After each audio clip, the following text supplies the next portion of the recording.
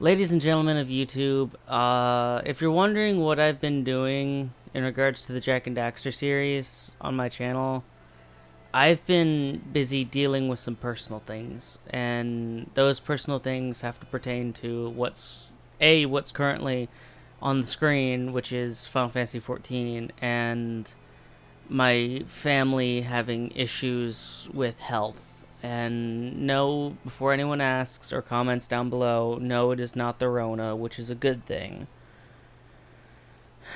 But there's just some personal things we're going through. That's why I haven't been uploading as of late. And as soon as I get time to edit the recordings that I already have, I will continue to do the series. I just have to get a couple things in order.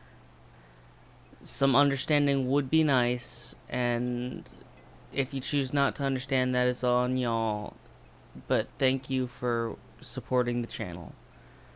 I will be continuing the Jak and Daxter series as soon as I possibly can, but again, I have to go through these personal things first. Thank you,